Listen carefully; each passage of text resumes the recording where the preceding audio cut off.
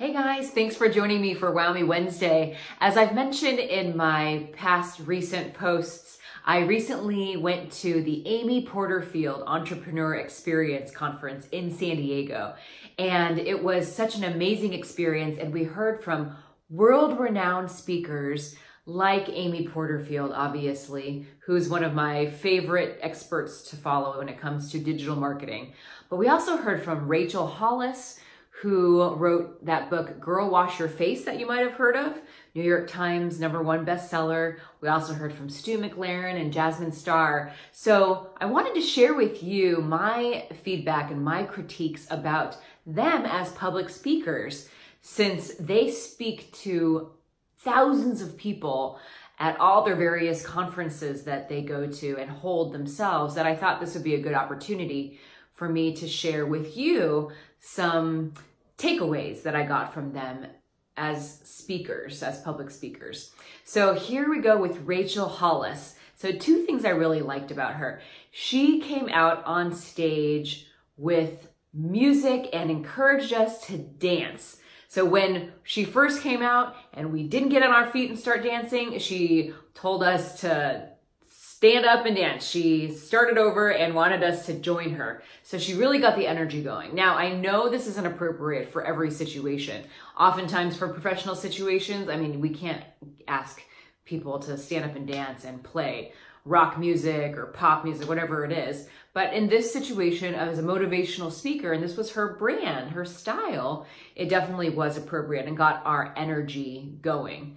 Now, I haven't done that before, but I have to admit, I actually have danced to stage when I was a speaker at a conference.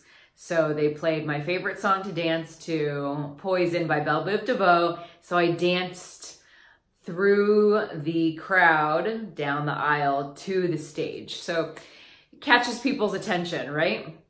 And that was a suggestion from one of the coordinators I was working with for the event. So one way to catch people's attention for sure. The second thing I wanted to point out that I really liked about Rachel Hollis's presentation was the fact that she used an analogy.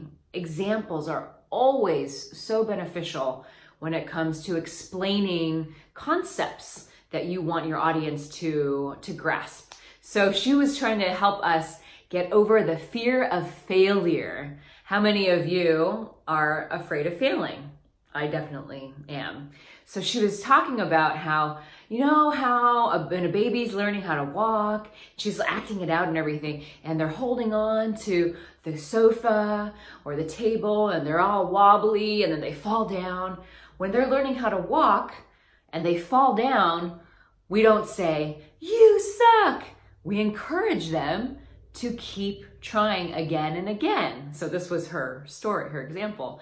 And so similarly, if we fail at business, if we fail at whatever part of our life, our lives, we don't expect people to say, you suck, or ourselves, we don't tell ourselves, we shouldn't tell ourselves, you suck, but to keep trying again and again, just like a baby learning how to walk.